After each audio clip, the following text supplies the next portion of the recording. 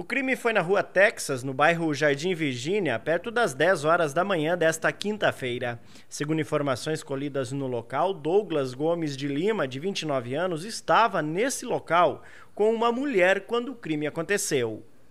De acordo com o que apurou a Polícia Militar, Douglas estava na casa, atrás do bar, quando um homem teria estourado a porta da casa e efetuado pelo menos oito disparos contra a vítima que morreu na hora.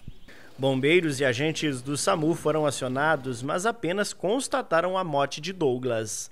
Chegamos aqui no local, identificamos que já a vítima já tinha alguns ferimentos já incompatíveis né, com a vida, ferimentos em, em, face ali, com algumas perfurações.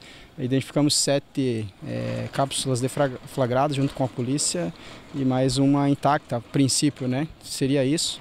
É, aí o SAMU já chegou no local também, já constatou o óbito e aguardando a polícia, a criminalística chegar no local para demais procedimentos.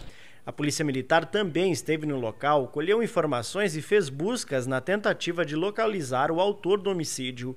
Policiais civis também estiveram no local e iniciaram a investigação para esclarecer os fatos. Após o trabalho da perícia, o corpo de Douglas foi encaminhado ao Serviço Médico Legal de Francisco Beltrão.